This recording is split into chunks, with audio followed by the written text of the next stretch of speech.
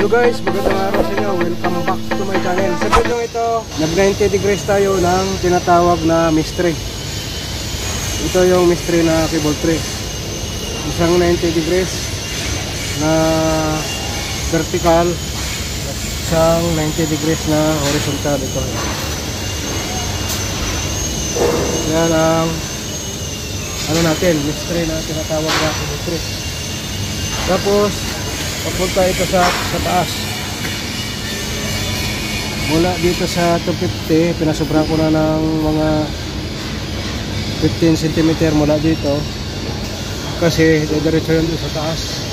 Mag-offset tayo ng 13 cm para lumayo tayo sa tubo sa piping.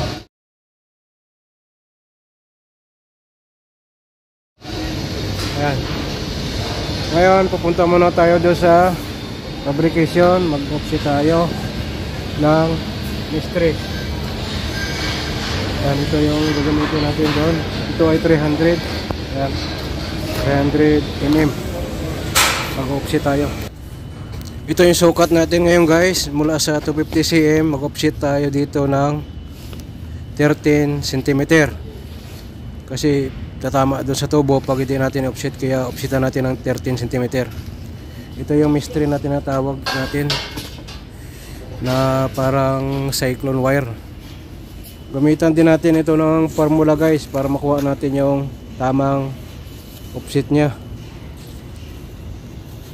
kakatingin natin ito ngayon para makuha natin yung 13 cm na offset nya ngayon guys na offset na natin ang isa tapos susukatan natin kung saan tumama yung 13 cm.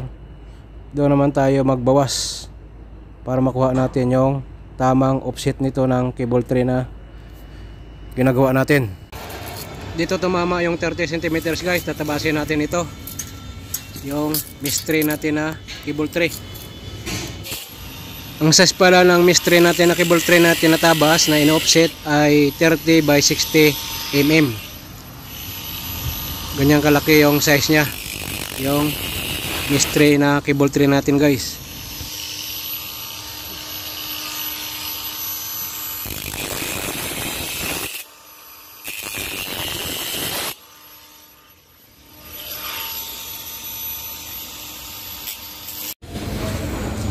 Ngayon natabas na natin yung mystery natin na cable tray guys. Susukatin natin kung tumama ba yung labas natin na 13 cm yung kinukuha natin na offset ito ay sa dulo na natin pinabas para dudugtungan natin ito ng isang diretsyo naman. Ngayon sa nakikita nyo nakuha natin yung 13 cm guys. Sukat na natin. Sakto siya.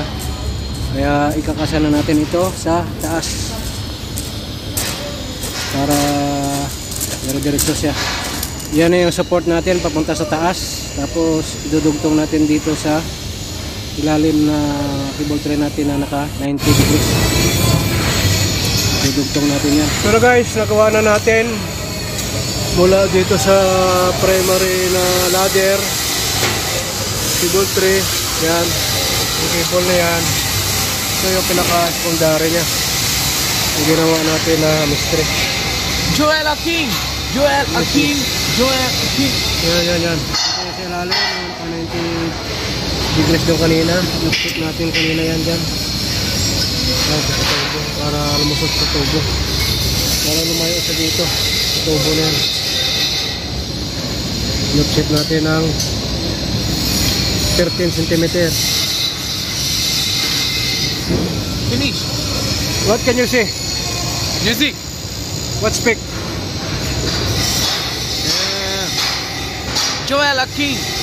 Joel Aking! Joel Aking! Okay guys, okay na yan. Yan lang guys yung pagkuha natin ng offset sa mystery na cable tray at saka pag 90 degrees. Mystery ang tawag natin sa tray na to. Yan. Tinira natin ito, mababa tayo. Ito yung offset natin kanina. Match that! Yan. Pupunta yan doon sa pinakailalim. Sa JB. kanina. Okay guys, salamat sa panonood. Pinakita ko lang sa inyo yung pagkabit namin ng mystery dito. Ingat kayo lagi kung saan kayo naroon hanggang sa muli. Paalam. Master. Finish.